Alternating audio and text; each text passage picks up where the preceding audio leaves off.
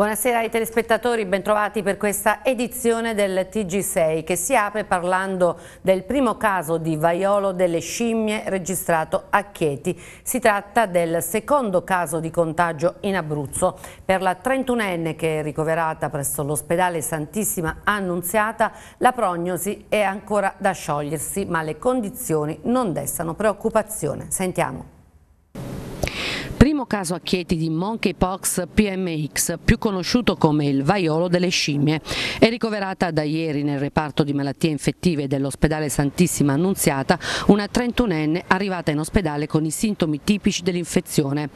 Attualmente nel reparto di malattie infettive la giovane ha un quadro clinico che non desta preoccupazione. Una volta ricoverata voi avete applicato un protocollo specifico? Sì, soprattutto l'isolamento da contatto, l'isolamento respiratorio e poi sì, insomma, i protocolli quelli prescritti in queste circostanze. Il decorso quale sarà? Ma di solito è, una malattia benigna che si autolimita. Nel giro di 2-4 settimane dovrebbe regredire, quindi io mi auguro che sia questo il percorso. La prognosi non è stata sciolta ma la malattia dovrebbe risolversi nell'arco di 2-4 settimane. Ora si cerca di capire dove la donna possa aver contratto il virus e se sia accaduto all'interno dei confini regionali. Quello di Chieti è il secondo caso di vaiolo delle scimmie in Abruzzo e il quinto caso contratto da una donna in Italia su 500 casi di infezione riscontrati nella penisola. L'infezione isolata nel corso di quest'anno è una zoonosi virale che può colpire l'uomo dell'uomo attraverso il contatto con animali infetti. È caratterizzata da sintomi più lievi di quelli del vaiolo sconfitto nel 1979. Febbre, mal di testa, brividi, astenia, ingrandimento di linfonodi e dolori muscolari ai quali fa seguito l'eruzione cutanea di lesioni che si presentano all'inizio come vescicole pruriginose ma che si trasformano poi in croste. Il contagio avviene attraverso il contatto, eh, le vescicole contengono il virus e quindi sono fonte del, del contagio, non è chiaro mh, se c'è una pericolosità della trasmissione per via aerea ma sembra di no, eh, quindi quando viene diagnosticato un caso diciamo, i, i, i, contatti più stretti, familiari o i partner devono essere sottoposti a, una, a un monitoraggio. Via precauzionale basterebbe sempre la misura del gel disinfettante o bisognerebbe attuare altre precauzioni? No, sicuramente la sanificazione delle mani, il distanziamento rimane utile per qualsiasi patologia di tipo infettivo.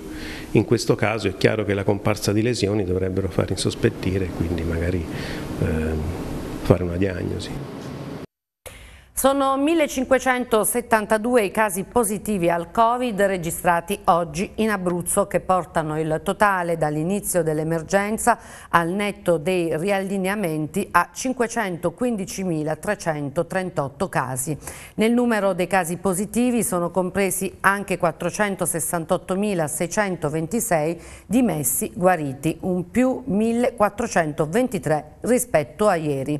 Gli attualmente positivi in Abruzzo sono 40 43.159 più 148 rispetto ai dati di ieri. Di questi 279 pazienti sono ricoverati in ospedale in area medica, 10 dato invariato rispetto alla giornata di ieri in terapia intensiva, mentre i restanti sono in isolamento domiciliare. Il bilancio dei pazienti deceduti registra purtroppo un nuovo caso, un 76enne, e sale così a 3.553 casi. Nelle ultime 24 ore sono stati eseguiti 1.270 tamponi molecolari e 6.339 test antigenici. Del totale dei casi positivi il numero più alto riguarda la provincia di Chieti con un più 497 casi per un totale di 148.807 casi. E voltiamo pagina, il sottosegretario all'istruzione, l'onorevole Rossano Sasso, a margine di un incontro istituzionale con il sindaco Ottavio De Martinis per un sopralluogo all'Istituto Comprensivo Troiano Delfico, ha incontrato la stampa per fare il punto della situazione sulle scuole in vista della riapertura. Rientro a scuola senza mascherine, così almeno per il momento, lo ha detto il sottosegretario all'istruzione Rossano Sasso parlando del ritorno a scuola a settembre degli studenti italiani a margine di un incontro istituzionale avuto questa mattina a Montesilvano con il sindaco Ottavio De Martinis prima di un sopralluogo all'istituto comprensivo Troiano Delfico. Ah, è chiaro che noi dobbiamo sempre stare attenti a quelli che sono gli indici, a quelli che sono i pareri degli esperti. Ad oggi potremmo tranquillamente entrare a scuola senza mascherina. Eh, due giorni fa sono state pubblicate finalmente in Gazzetta Ufficiale le linee guida sugli impianti di reazione che hanno visto il sottoscritto e la Lega in particolare sulle barricate per due anni. Purtroppo noi scontiamo l'incapacità politica di un Ministro della Salute che si chiama Roberto Speranza che ce le ha mandate con cinque mesi di ritardo. Ora c'è un problema però che è quello delle coperture economiche dove sinceramente io ho più volte sollecitato sia il Presidente che il Ministro dell'Istruzione Bianchi, però purtroppo nel decreto aiuti non ci sono state le risorse che noi speravamo. Mi auguro che la prossima settimana in un successivo decreto si possano stanziare ulteriori risorse dopo quelle che grazie alla Lega sono state stanziate nel decreto Sostegni 1 a marzo, circa 150 milioni di euro. Il sottosegretario ha poi parlato dell'importanza della stabilizzazione degli insegnanti precari che anche in Abruzzo aspettano le risposte del governo. Il sottosegretario ha sottolineato il ruolo avuto fino ad oggi dalla Lega. Sono 60 anni che mancano gli insegnanti, il punto è che noi abbiamo circa 250 50.000 insegnanti precari. Dobbiamo stabilizzarli perché stabilizzandoli ce li abbiamo in cattedra il, il, primo settembre senza aspettare ogni volta tutte le operazioni. I concorsi sono stati un flop, i concorsi a crocette voluti dal 5 Stelle e dal PD sono stati un flop, abbiamo trovato domande sbagliate, abbiamo visto insegnanti penalizzati. Ecco, noi pensiamo che non sia meglio, non ci sia niente di meglio di un maestro o una maestra che già insegna da 10-15 anni con i nostri figli e non ha nulla da dimostrare. La Regione scende in piazza e lancia una campagna tutta dedicata al lavoro. Sono previsti villaggi del lavoro e della formazione nelle quattro piazze principali dei capoluoghi di provincia. L'idea è quella di incrociare domanda e offerta per presentare tutte le possibilità e gli incentivi e creare una nuova cultura del lavoro. Un'iniziativa che ho voluto fortemente, eh, in cui l'istituzione, in questo caso la Regione Abruzzo, scende in piazza per incontrare i cittadini, questo per riallacciare anche rapporti tra la collettività, l'opinione pubblica e le istituzioni che ultimamente si sono allontanate, quindi la Regione che va incontro eh, al cittadino per illustrare tutte le possibilità, tutte le misure che metteremo in campo nel mondo del lavoro, quindi ci saranno dei villaggi eh, per ciascuna città capoluogo di provincia, come dicevate voi, Chieti, Pescara, Teramo e L'Aquila, in cui eh, faremo dei veri e propri colloqui di lavoro con le aziende partner, faremo anche dei convegni e dei workshop e quindi si creerà a tutti gli effetti un villaggio del lavoro diviso appunto con un auditorium in cui eh, metteremo in campo e illustreremo le misure e un'altra parte invece dove ci sarà proprio l'incontro tra domanda e offerta di lavoro. Queste misure rientrano nel eh, FSE Plus che ha una dote finanziaria di circa 400 milioni. E riguarderanno misure quali incentivi all'occupazione per giovani, persone fragili, over 50 e donne, la formazione che sicuramente è importante perché io girando per le aziende non si trovano determinati profili, quindi spetta a noi istituzioni, incrociando domande e offerte di lavoro, capire quali sono i profili ricercati e andarli a formare. E poi ci sarà un orientamento anche per gli studenti per cercare di capire quali sono le loro dedizioni per farli inserire eh, nel mondo dell'istruzione e quindi nel mondo del lavoro. Partirà da Teramo il 6 ottobre, a seguire ci saranno gli eventi in altre città, il nome stesso dell'evento, eh, la Regione Abruzzo scende in piazza, apri le porte a tuo domani, fa capire quali sono le opportunità. Vogliamo dare un segnale importante perché dopo la pandemia c'è la guerra ancora in corso, ci sono molte difficoltà nel mondo del lavoro, abbiamo diverse crisi, tra l'altro ci saranno anche eh, misure per mantenere i livelli occupazionali. Cerchiamo di dare un segnale importante al mondo del lavoro dando delle opportunità alle persone che hanno difficoltà a trovare lavoro e soprattutto a coloro che hanno perso lavoro e quindi cercare di ricollocarli e avere quindi un'ulteriore possibilità lavorativa. Ci sarà una piattaforma eh, che a breve sarà pubblicata sui siti istituzionali, ci si può prenotare per fare il colloquio nella piazza stessa. Il termalismo in Abruzzo prova a ripartire da ieri dopo una serie di investimenti privati e di nuovo in funzione il rinnovato stabilimento di Popoli, sito in Contrada de Contra, mentre per Caramanico, storico centro termale, si dovrà ancora attendere del tempo. Una struttura rinnovata in grado di garantire servizi di fangoterapia, insufflazioni, terapie riabilitative. Ha riaperto ieri i battenti le Terme di Popoli che sarà gestito dalla società Terme in Popoli fino al 6 febbraio 2032. La struttura resterà aperta dal 1 aprile al 30 settembre. Un segnale importante non solo per l'utenza che dopo diverso tempo è tornata a beneficiare di prestazioni sanitarie collegate all'utilizzo dell'acqua termale, ma anche in termini di ricaduta turistica sull'intero complesso comprensorio che gravita intorno a Popoli. Attraverso l'apertura delle terme di Popoli noi come Regione Abruzzo vogliamo rilanciare tutto ciò che eh, è il tema termale anche in un'ottica di sviluppo di un territorio. Sia a Valle Sorridono 30 km più sulla questione ancora del tutto da decifrare. Stiamo parlando del complesso di Caramanico. Qui si attende la risoluzione della procedura fallimentare e i nuovi bandi per la concessione di acque e strutture che potrebbero essere pubblicati fra settembre e ottobre ottobre, con la riapertura che a questo punto in automatico slitta al prossimo anno. La situazione è stata ieri analizzata in un incontro pubblico in comune a cui hanno preso parte il sindaco Luigi Diacetis, imprenditori e commercianti. Noi stiamo collaborando con la curatela per cercare di risolvere un problema che non è facilissimo sotto il profilo giuridico amministrativo ma vogliamo fare il massimo sforzo per risolverlo per fare in modo che insieme alla vendita dell'immobile possa andare di pari passo e in sinergia la concessione delle acque, così da garantire anche una maggiore partecipazione, una maggiore attrattività degli investitori privati. Dal punto di vista sanitario la Regione si dice pronta a riconoscere il nuovo accreditamento per il budget sanitario per permettere poi la convenzione con il Servizio Sanitario Nazionale ai fini del rimborso delle cure. La terapia attraverso le terme è fondamentale, tant'è vero che c'è una grande richiesta e quindi non bisogna vedere solo sull'indotto ma è importante proprio da un punto di vista terapeutico. Federalberghi oggi a Montesilvano ha presentato l'iniziativa Assessore in Reception e anche la cartina turistica di Pescara e Montesilvano che è dedicata ai turisti.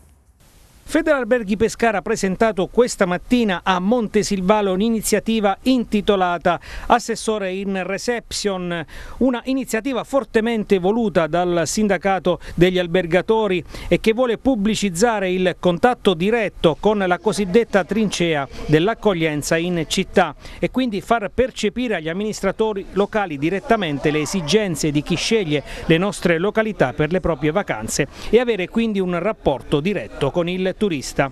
Per noi è importante trasferire questa esperienza perché permette di raggiungere effettivamente l'obiettivo che è quello di far star bene il nostro ospite turista.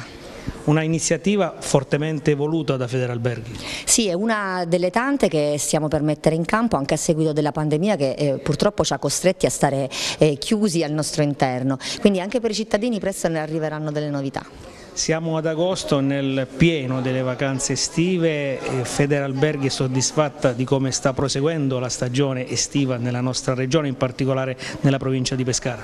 Sta andando molto bene, incrociamo ancora le dita perché comunque finché non passiamo il giro di boa, adesso ecco il 15 di agosto è sicuramente la data più calda, però abbiamo delle buone prenotazioni anche proprio per la, fino alla metà di settembre e anche oltre con il turismo sportivo, quindi eh, il nostro territorio piace, viene scelto quest'anno è stato confermato dai tanti italiani che comunque hanno scelto la nostra destinazione. Per l'occasione è stata anche presentata la nuova cartina studiata proprio da Federalberghi di Pescara e dedicata ai turisti dell'area metropolitana Pescara-Montesilvano. Questa è una city map nuova dove è presente questa fusione tra Montesilvano e Pescara e va ad ampliare quella che è l'offerta turistica, quindi il turista ha l'opportunità di avere dei punti ben definiti eh, dove sono anche presentate delle, eh, degli eventi, delle iniziative pubblicizzate anche da Città Sant'Angelo Village, ci sono tutti, tutti i punti dove il turista può andare ad ampliare eh, la sua esperienza durante il soggiorno, eh, speriamo che questa eh, iniziativa eh, continui nelle prossime stagioni perché è un'opportunità di far conoscere meglio il territorio al turista. Il Palazzo Comunale di Roccaraso domenica 7 agosto ospiterà la ventisettesima edizione del premio Benigno e Filomena su Foletta, illustri e di grande caratura i premiati scelti dalla giuria per quest'anno. Domenica 7 agosto a Roccaraso ci sarà la ventisettesima edizione del premio Benigno e Filomena su Foletta premiati davvero di alto livello, Presidente, è il caso di dire. Sì, anche se in realtà noi siamo affezionati a tutti i premiati di tutte le edizioni, per eh, il nostro modo di vedere ognuno dei premiati che abbiamo avuto nel corso di queste edizioni ha delle capacità, degli, eh, del talento, eh, un impegno sul proprio lavoro, sul proprio campo di attività che vale la pena di essere ricordato e premiato. Anche quelli di quest'anno sono secondo noi di alto livello.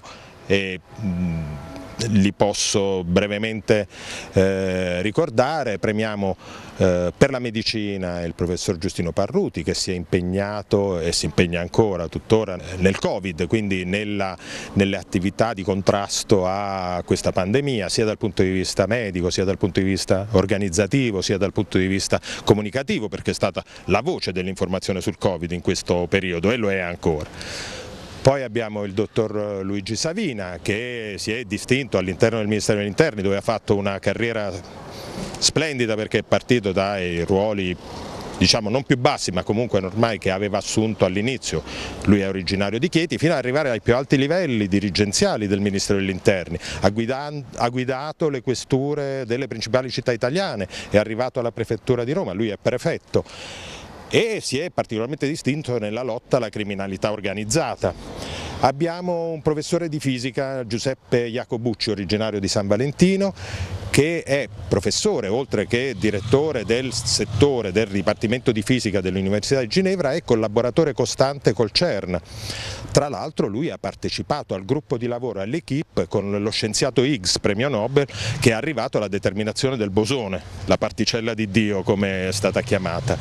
Abbiamo poi eh, Gabriele Gravina, che è la figura più alta del mondo del calcio in Italia, eh, lui è presidente della, della FIGC e ha tra l'altro nella sua carriera un passato da imprenditore, probabilmente noi crediamo, ma insomma poi lo scopriremo nel momento in cui glielo chiederemo, che anche quel background eh, gli sia servito per dirigere adesso la federazione calcio, anche se il, eh, il sistema è probabilmente diverso, quello di dirigere una propria impresa piuttosto che una sorta di piccolo ministero come può essere. Infine abbiamo una eh, giornalista, Clara Iatosti, vive e è nata a Roma ma è figlia di genitori avezzanesi. Lei lavora per TV2000 che è la TV, la TV del CEI e per la sua esperienza professionale e personale è, ha conosciuto molto bene l'Ucraina e quindi sarà un modo per parlare di questa guerra non dal punto di vista delle guerre ma per esempio dal punto di vista dei rifugiati che è un aspetto che lei ha curato molto. Cominciata ufficialmente ieri sera la dodicesima edizione della Festa della Birra di Pianella, organizzata dalla locale Proloco. Fino al 9 agosto, serate all'insegna delle birre artigianali da degustare, sia locali che bavaresi, oltre ai prodotti tipici della nostra regione e musica italiana. A disposizione anche un bus navetta gratuito. Con Edoardo Faiete, il presidente della Proloco di Pianella, torna alla festa della birra, un appuntamento atteso da tanti anni che purtroppo è stata bloccata dalla pandemia come tutte le altre attività, però è tornata puntuale. Sì, sì, dopo due anni di stop eh, era dovuto tornare con la nostra festa della birra che diciamo, è la nostra manifestazione principale che fa la nostra associazione ed è anche il cuore pulsante delle manifestazioni in quanto dà linfa vitale al, alla nostra associazione e anche al paese. Ricordiamo dal 4 al 9 agosto tutte le sere che cosa si potrà trovare? Dal 4 al 9 agosto tutte le sere stand gastronomici con prodotti locali, taglieri, arrosticini di pianella e birre di importazione tedesca e artigianali della, della regione Abruzzo. In più tutte le sere ci saranno concerti a partire dalle ore 22 dei cover band. Siamo con il presidente onorario della Proloco di Pianella Roberto Sergiacomo, l'occasione anche per fare il punto sugli eventi che organizza la Proloco non solo d'estate ma durante tutto l'anno. Certo, è importante ripartire con questo che è un nostro evento di punta, di cartello, che poi eh, direttamente e indirettamente muove tante attività nel corso di tutto l'anno. Poniamo in essere da ormai da tantissimi anni eventi culturali, premi, borse di studio, eh, eventi tradizionali, folcloristici, manifestazioni come il Carnevale, eh, l'Ubongiorn, anche tanta tanta attività a sfondo sociale. Abbiamo una sede che abbiamo recuperato con le nostre forze tanti anni fa e che è anche eh, condivisa per tantissime iniziative, ma eh, da qui eh, è importante ripartire dopo questi due anni di pausa forzata e necessaria proprio per eh, eh, tirar fuori il meglio di quello che è la punta di diamante della nostra comunità che è il volontariato e mettere in campo le migliori sinergie dalle collaborazioni con le altre realtà associative, Croce Rossa, Protezione Civile, ovviamente il patrocinio e la collaborazione del Comune, delle, delle forze dell'ordine e di tanti tanti amici che sono tornati uno a uno a darci la mano e questo non può che farci piacere. Domani sera a Montesilvano si terrà il Sound of Sea Festival con la presenza di Sade. Ad aprire il concerto ci sarà anche Francesco Paone in arte critical, fresco concorrente di Amici, un successo che gli sta permettendo di aprire i concerti dei The Colors per volontà di Stash, cantante del gruppo. Assessore, proseguono i grandi appuntamenti a Montesilvano in questa calda estate, domani sera ci sarà Sound of the Sea, un altro appuntamento a cui tenete in maniera particolare. Sì, eh, diciamo entriamo nella, nella, parte calda della stagione estiva. E domani ci sarà un evento a cui personalmente ma un po' tutta l'amministrazione tiene tantissimo, è la terza edizione del Sound of Sea Festival. E quest'anno avremo veramente il piacere di poter ospitare anche un nostro carissimo concittadino che, che è Critical, che aprirà il concerto di Shade, lui è fresco concorrente di amici, è arrivato anche al Serale, noi gli siamo stati vicini perché è un ragazzo veramente in gamba gamba, oltre ad essere un artista secondo me veramente molto molto bravo e cui auguriamo davvero le migliori fortune, è un ragazzo eccezionale, quindi siamo contentissimi perché sia dal punto di vista artistico sarà un concerto molto molto bello. Francesco Paone, reduce dal grande successo di Amici. Sì, eh, è stata un'esperienza bellissima, io sono super onorato di suonare nella mia città anche perché il Teatro del Mare è sempre stato eh, il mio sogno insomma nel cassetto da, fin da quando ero bambino. Nome d'arte Critical, come mai? È un connubio di un po' di cose, io principalmente sono una persona molto autocritica, credo che mettersi sempre in discussione sia un po' la chiave del successo, sempre pedalare a testa bassa. Poi ho voluto aggiungere la Y per fare una specie di gioco di parole perché sono una persona molto sensibile specialmente quando faccio musica e quindi solitamente eh, cerco sempre di arrivare a un punto di lacrime, tra virgolette, sia di gioia che di, di nostalgia, di sofferenza, di qualsiasi emozione. Il socio di maggioranza di Teramo Calcio, Davide Ciaccia, ha confermato che il club, dopo la, la bocciatura del TAR, andrà in Consiglio di Stato contro quello che Ciaccia definisce un torto. Noi riteniamo comunque di continuare a subire un torto e quindi andiamo avanti con il grado di giudizio successivo. Insomma, abbiamo detto che ci saremmo riuniti oggi, siamo tutti d'accordo, i soci di minoranza e soci di maggioranza e quindi senza entrare nel dettaglio di quello che possono essere le motivazioni che poi stanno ai legali, ai legali che ci seguono, andiamo avanti perché riteniamo che ci siano ancora i presupposti per, per salvare la matricola e per salvare la, la società nella sua interezza. Insomma. Eh, insomma, dopo i consulti con gli avvocati, con i soci attuali e con i soci futuri, siamo tutti convinti di poter comunque giocare la, la partita in sede Consiglio di Stato e quindi abbiamo deciso di andare avanti.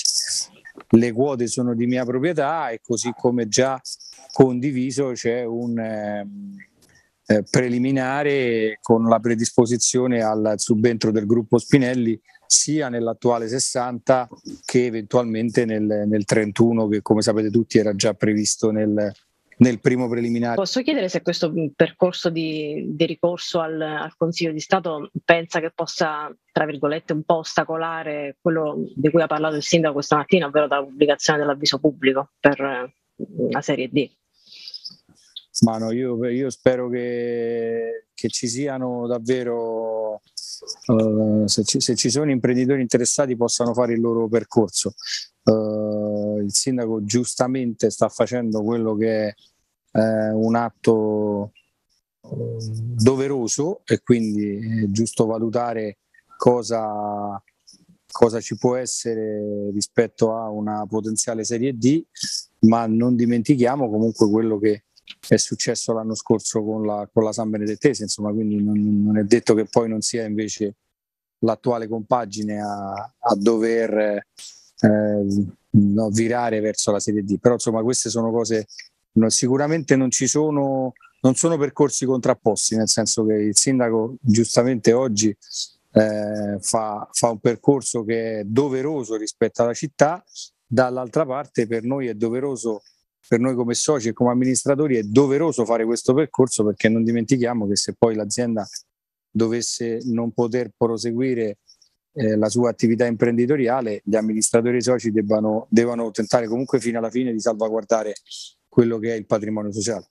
Io quando dico purtroppo gli amministratori e la, i soci del Teramo Calcio devono assolutamente percorrere tutto quello che è possibile e immaginabile. Come vedete io non faccio riferimenti né a motivazioni né altro perché queste sono cose che riguardano gli avvocati, io parlo solo di atti che riguardano gli amministratori e i soci. Sono eh, obbligati a tutelare tutto quello che è il patrimonio, il patrimonio si intende tutto nella sua interezza, fino all'ultimo grado di giudizio. Se poi anche all'ultimo grado di giudizio questo ci verrà negato, è una valutazione che a seguire faremo purtroppo delle valutazioni che saranno quelle della liquidazione, però oggi noi ancora a questo non, non ci pensiamo.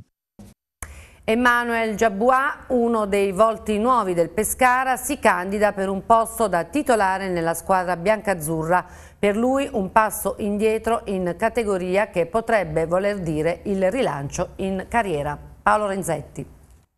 Ma nel Giabua prosegue la marcia di avvicinamento alla stagione che conta, la Coppa Italia al campionato, soddisfatto di quanto fatto fino ad oggi? Sì, siamo soddisfatti perché stiamo facendo tre settimane intense di preparazione che sono molto tosti diciamo, però ci stiamo preparando al meglio. Che ambiente hai trovato? No, ho trovato un ambiente affettuoso, siamo un bel, un bel gruppo, molti giovani, quindi è un bel gruppo, cioè, ci sta bene dai. Alberto Colombo, il tecnico del Pescara, pretende molto da voi giocatori, insomma come è stato l'approccio con l'allenatore? No, approccio bello perché pretende tanta corsa, anche gioco, bel gioco vuole, quindi diciamo che punta un bel gioco che non si trova sempre. Siamo, diciamo. siamo ad agosto, è tempo di amichevoli, però si avvicina il campionato, insomma secondo te in questo momento qual è la percentuale di forma del Pescara? Diciamo che siamo anche a una buona percentuale perché come ho detto in allenamento stiamo lavorando molto, quindi stiamo anche abbastanza bene. Diciamo 70% ci siamo dai, tra poco saremo al 100%. Obiettivi ambiziosi per il Pescara non potrebbe essere diversamente, si punta a provare a vincere questo campionato, non sarà semplice ma Pescara non ha alternative. Ovviamente non sarà semplice con le squadre che ci sono, però noi punteremo a fare il massimo perché penso che siamo un bel gruppo e ce la potremmo fare. Arrivi in un ambiente caldo, una tifoseria che pretende molto dalla squadra, un po' delusa dall'ultima stagione, cosa sai, cosa conosci di Pescara, cosa ti hanno detto? Diciamo che sì, è un bel ambiente, ce l'hanno fatto vedere anche i tifosi al ritiro che sono venuti su, quindi mi ha fatto un bel piacere sono molto caldi, ci hanno chiesto di dare il massimo e sudare sempre per la maglia e lo faremo sempre. Tu sei reduce da un campionato di Serie B con il Perugia, per te è stato un problema, è un problema ripartire dalla Serie C? No, diciamo che quando c'è stata questa opportunità di partire dal basso non ho detto di no perché alla fine volevo mettermi in mostra, quindi speriamo che vada bene quest'anno e poi vedremo. Metterti in mostra c'è tanta concorrenza lì in mezzo, insomma ci sarà da lottare settimana dopo settimana per guadagnare una maglia da titolare. Sì, ho trovato anche compagni forti come Luca Mora, esperienza, però sì, siamo, ce la giocheremo tutti insieme verso l'unico obiettivo. Bene, tutto per questa edizione, io mi fermo qui, vi ringrazio per essere stati con noi e vi ricordo che i contenuti dell'ETG sono sempre rivedibili sulla pagina YouTube di TV6 o all'indirizzo www.tv6.it. Un cordiale buonasera, arrivederci.